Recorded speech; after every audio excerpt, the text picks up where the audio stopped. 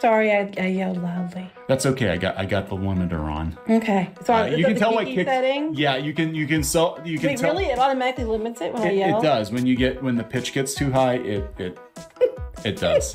When sometimes if you sound like all robotic, it's because my it's it's bringing the decibels down. Okay. I'm, I'm sorry. I'm sorry.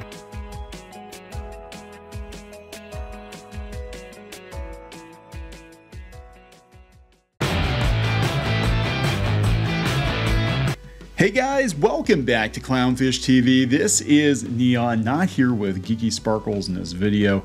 So we're kind of doing our own videos today. It's almost like we're like living in separate houses or something. Maybe I'm maybe I'm recording this from the doghouse. Maybe I'm recording this from the couch, the guest house. No, actually we've just been very busy and it makes sense for us to just kind of record videos as they come up as one of us is available that's what's going on. Nothing major. Got a lot going on behind the scenes.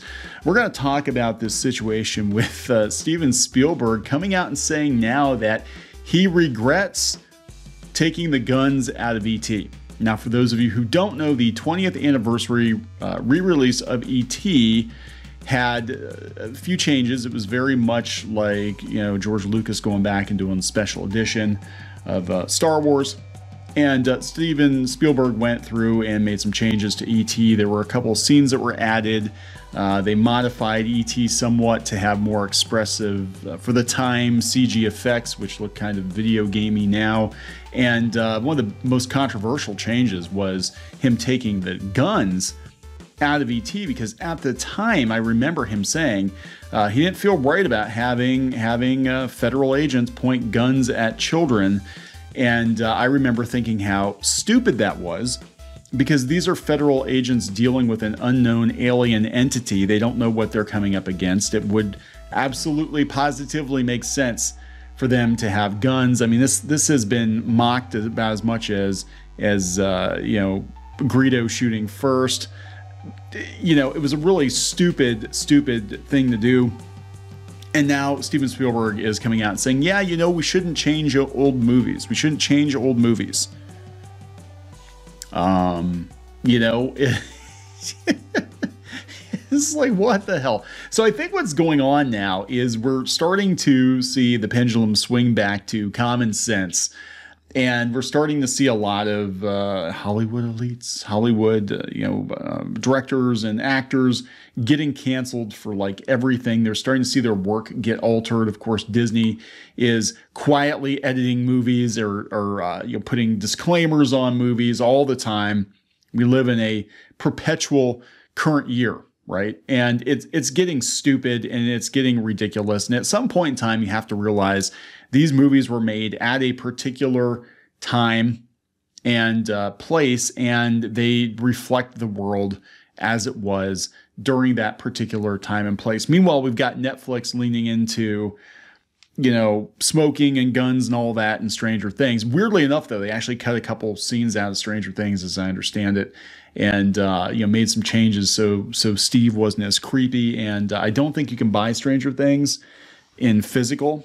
I don't think so. You're pretty much at their mercy, and that's the problem with digital, right? That's the problem with streaming is that uh, you can make all kinds of changes to older works of art, and and that's the only version that exists is whatever the current version is, which is kind of scary. But I think people are people are tired of it. When you've got Steven Spielberg, who was a huge advocate for being able to make these kinds of changes, coming out and saying, "Hey, this isn't right. I don't feel the same way now." I think I think things are definitely changing. So we're going to talk about this in a very special episode of Clownfish TV. Before we get into it any further, uh, please subscribe for more pop culture news, views, and rants, guys. You'll get a woohoo. Geeky's not here. I'll give you a woohoo. Uh, woohoo. that's, about, that's about as excited as I get. Uh, you know, that's about as excited as I get. So check check this out. This is uh, on Indiegogo. People had some some questions about what this is. This is previously on Clownfish TV. This is a new graphic novel containing a series of what was originally designed to be a webcomic um, by uh, Jim Wong. And uh, we actually hired him officially. He was doing fan comics. We hired him officially about a year and a half, two years ago to do a series of web comics for us. And then we just never never posted the webcomics because we got kind of busy. But we've collected these previously unseen strips uh, into a book, and uh, you can check check that out on Indiegogo, or you can go you can go to Clownfish TV Comic com and it will take you directly uh, to the page. But yeah, there's about 100 and some pages of strips based on stuff we've talked about. Uh, some of it directly, some of it uh, indirectly, and uh, we thought was pretty cute stuff. That's why we uh, we hired Jen to do it. But um, you know, he's taken some liberties with some of the things that have happened, and and uh, for those of you who, you know, there we got some geeky taking her taking her big breath before she uh, she gives the finger, flips people off. Um, we've also got some other stuff in this campaign. We got some stickers and stuff. We got uh, we got more pins. We're actually going to be doing more pins of the current avatars too. We're going to throw that into this campaign. And uh, yeah, people are asking where Crimson Wren is. It's only it's only three weeks late, guys. It's only three weeks late, and I'll tell you exactly where it is. It's with the printer, and it's been with the printer uh, for quite a while. Uh, in fact, I've had multiple conversations with the printer, and I'm trying to figure out exactly when we can expect these books to come in. My understanding is that the pipeline is jammed, uh, the printing pipeline is jammed, and and if the book were soft cover instead of hardcover, we would have had them in hand by now. But because we're doing hardcover books uh, with UV coating, which is like the shiny stuff on the cover, uh, there, it's a little more involved. Actually, it's a lot more involved to do those books. And then we've got like custom end sheets and all this stuff going on uh, with Crimson Wren. When we get it in, it's going to be absolutely effing beautiful. Uh, it is, and uh, we're looking forward to Actually, this year we're going to be bringing you uh, Shadowbinders 3. We're going to be doing a campaign for that. That book is more than halfway done because a lot of it is the remainder of the webcomic version of Shadowbinders. And then we're going to have all new material going forward. And uh, we also have Crimson Wren Volume 2, which is the second half of that storyline. That's going to be coming at you this fall. So we got a lot of things going on, as well as Adventure Engine. If you go to adventureengine.net, we are working on our own tabletop uh, RPG system, and uh, you know it is eventually we're going to have a Bellatir world. Uh, campaign world, which is the Shadowbinders world, but we're also going to have kind of the, the, vanilla fantasy world too. Anyway, lots of stuff going on. Again, for this particular project, check out clownfishtvcomic.com. It's out on Indiegogo. It's it's pretty fun stuff if you like the channel.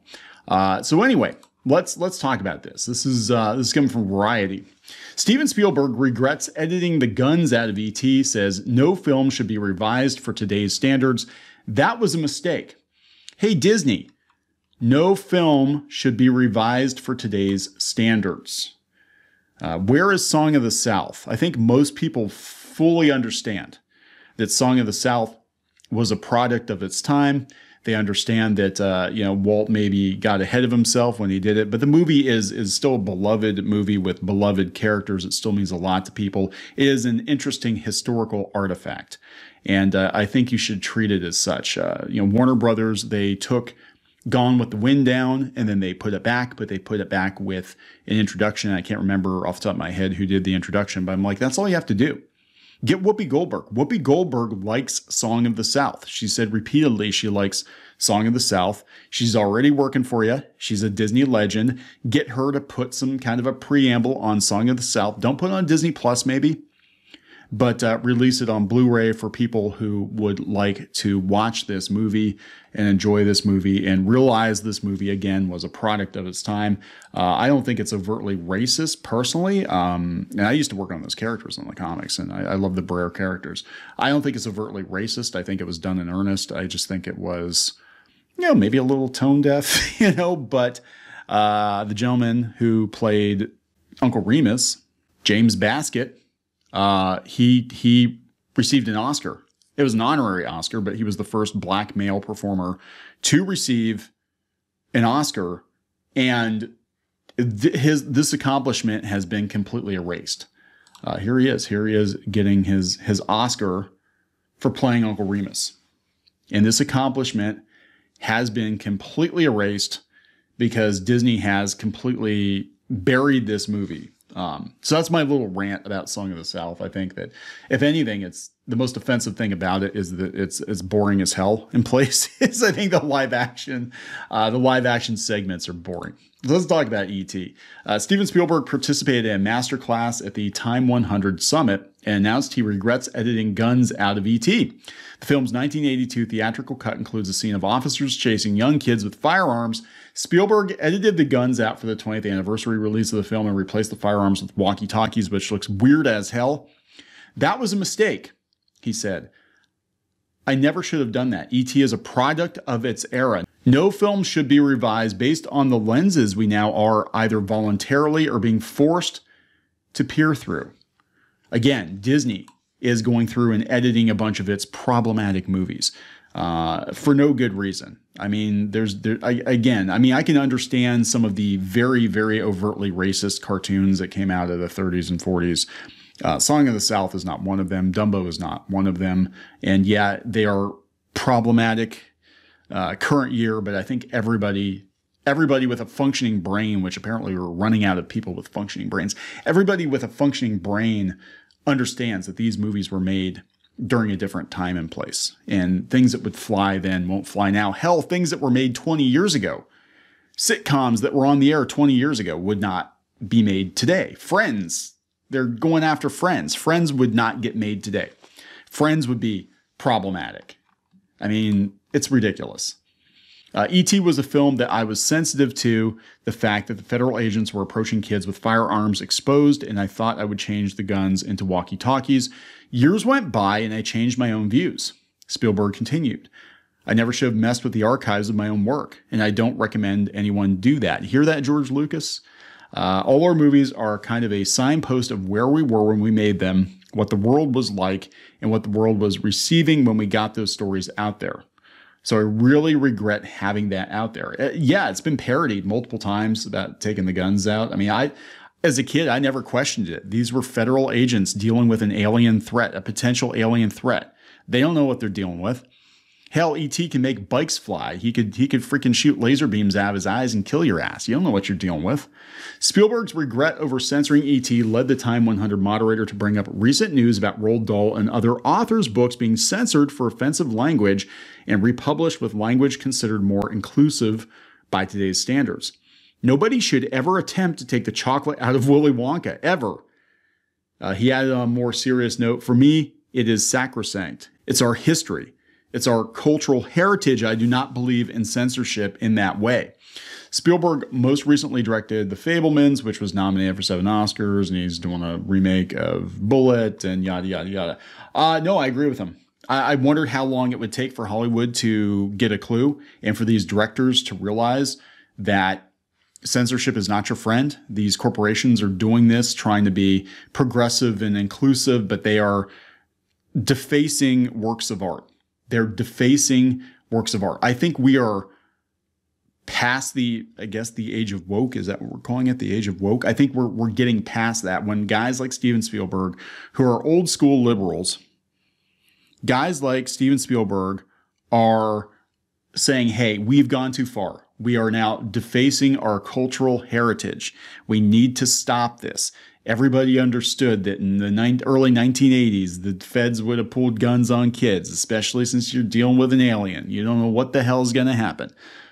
It would probably happen today, too, right? They don't care if they're kids on bikes, that alien could kill you. You don't know. Um, it's just absolutely ridiculous.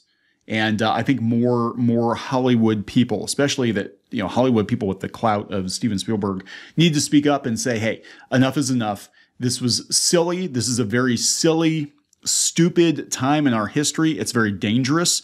Again, a lot of people, and he would know better than most, uh, given that he was the the director of Schindler's List. Um, it's very dangerous when you stop talking about horrible things that happened in our history because it makes people feel bad. There are schools there apparently that are not teaching about World War II because it makes people sad. I'm like, you're supposed to feel sad. That's the point. You're supposed to feel sad so it doesn't happen again.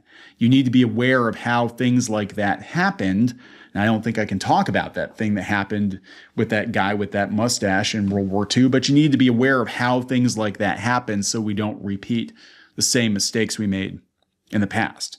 And uh, it begins with art being vandalized and then history being rewritten. And eventually, you know, again, we live in an endless present where there's only the party. And we, we can't do that. We can't allow ourselves uh, to do that. And, it, it, you know, it might not seem like a big deal to you know, edit some problematic movies to make them more palatable for modern audiences, but it's a slippery slope, guys. It is. Everybody understood these movies were a product of their time. You leave them alone. You know, if somebody's offended by the movie, don't watch the damn movie.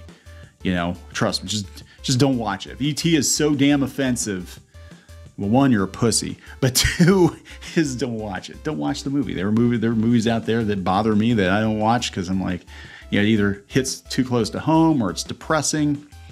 Um, you know, I, I don't have any desire to watch them again, and that's okay. Not every movie is for every person, and we just have to understand this. So I'm going to wrap it up. Uh, please subscribe for more pop culture news, views, and rants, and we'll talk later.